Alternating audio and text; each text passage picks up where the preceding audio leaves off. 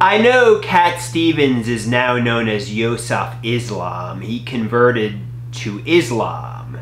But you know his song Peace Train? Everybody hop aboard the Peace Train and we'll go on a magical journey to a land of peace. Well, I think it would be funny if I created a song Hop Aboard the Andrew Plane. I'm going to take you on a magical journey on the Andrew Plane.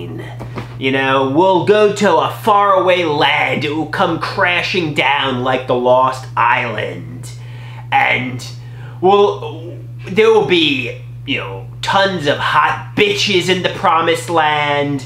There will be tons of money, fame. There'll be beautiful pools. We'll have the time of our lives on the Andrew plane and on the, the magical island. You know, somebody might say, you know, obviously, the Andrew plane, it sounds like something like self-righteous terrorists would do. They'd hijack a plane and go crashing into the World Trade Center in the name of religion. I don't know. No, the Andrew plane is kind of like the peace train. It's peaceful.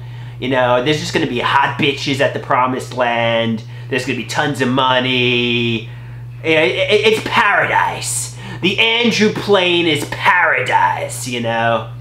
We're not like righteous terrorists who are going to go crashing our plane into buildings.